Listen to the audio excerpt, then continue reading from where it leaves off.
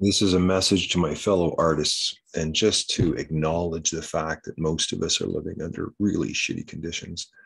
And these conditions actually create the eh, that goes into the art that creates beautiful things. And artists have learned to work under shitty conditions to create incredible masterpieces.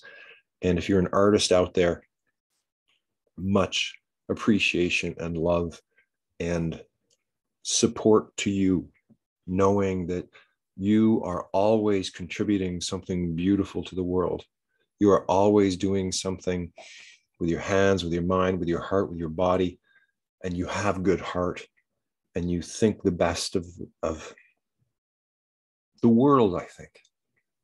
You know, all artists have a deep love for I think everything.